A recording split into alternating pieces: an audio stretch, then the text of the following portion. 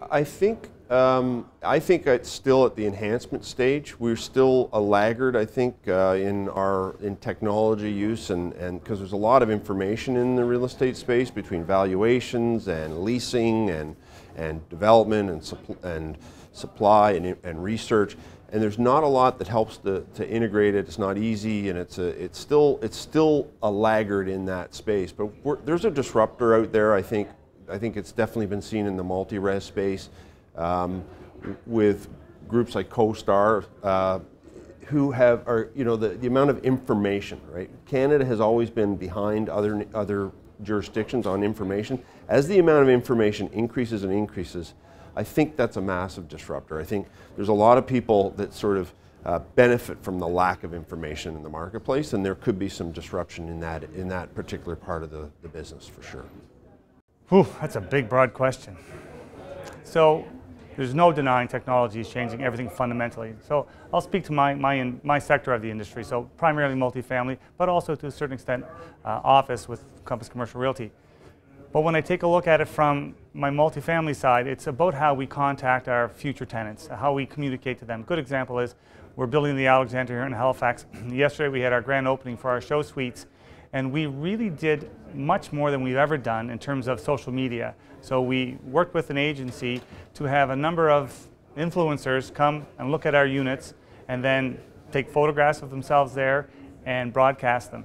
And the traffic we've seen from that is tremendous. And that's the way going forward it's changing for us. We need to be able to be in that medium so that we can communicate with the next group of renters. So that works. Meanwhile, in terms of how we manage our business, uh, the information we get, the way we access it, the way we share it and distribute it, analyze it, it's all technology based. And increasingly paper is less and less, although there's still more paper than anybody would think. But for us to talk to our staff and the way they communicate, they're very appreciative of the fact that our initiative, one of our initiatives is if you can't do it with a single push of a button, we probably won't do it. I think that every week or every month you hear about a new technology that's going to bring the end of bricks and mortar first it was the mall, then it was the office place. But ultimately, I believe that humans are social creatures and we want to get out of our homes and we want to be together. And so I see technology as being something that is going to enhance the way we use real estate. So, you know, walking through a shopping mall or a retail store and using a wayfinding app to help you find the goods that you want more quickly. Or, you know, looking up reviews when you go to a new city about where to get the best coffee. You're still going to the store, you're still going to the mall, but technology is helping you have a better experience. Um, in my personal life, I couldn't, uh, I couldn't balance career and home without the use of technology, which allows me to be available to my clients wherever I am, at whatever time, uh, respond to my team. So, you know, again, I think technology is, is helping us in our business, not, not disrupting. I see it as both disruptive and uh, as an opportunity. Uh, and things that are disruptive should be opportunities for, for organizations.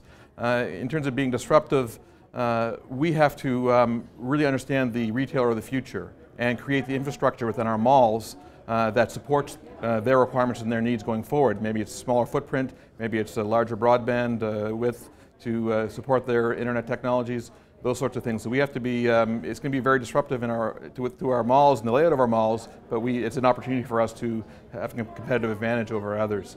Uh, in terms of a, a, pure opportunity, I see technology is giving us uh, the ability to deliver information to our employees at a much faster pace and a much more accurate pace, allowing them to make decisions. We can be much more nimble, much more flexible, much more reactive, and provide better customer service when our employees have timely and accurate information uh, to, with which to make decisions based on.